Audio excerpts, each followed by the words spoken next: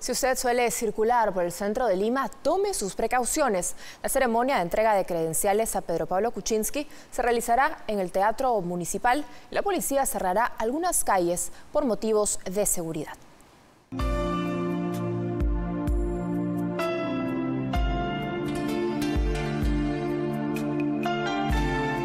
El imponente y remodelado Teatro Municipal de Lima es el escenario donde Pedro Pablo Kuczynski será proclamado como nuevo presidente del Perú.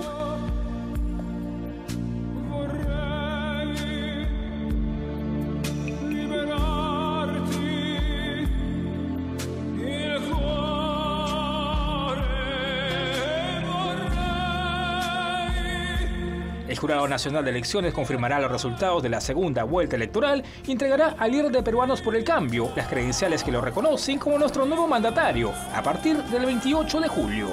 Martín Vizcarra y Mercedes Arauz también recibirán sus credenciales como primer y segundo vicepresidente respectivamente.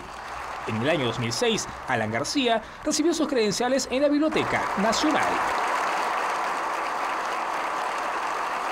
En el 2011, el presidente Ollanta Humala hizo lo propio en el Museo de Arqueología, Antropología e Historia del Perú, en Pueblo Libre.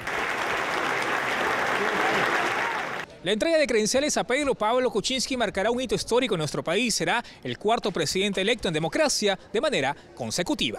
Con motivo de esta ceremonia, la Policía Nacional restringirá el tránsito peatonal y vehicular en las inmediaciones del Teatro Municipal, ubicado en el cercado de Lima. La vía que permanecerá cerrada totalmente será el Girón Rufino Torrico, desde el Girón Huancavelica hasta el Girón Callao.